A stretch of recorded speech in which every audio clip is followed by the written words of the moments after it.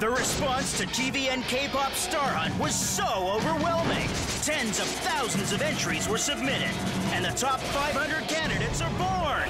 The Singapore auditions details have also been announced on our official website. Keep yourself updated with the hottest K-pop event in Asia, and stay glued to TVNStarHunt.com. Infinitely yours, Seoul.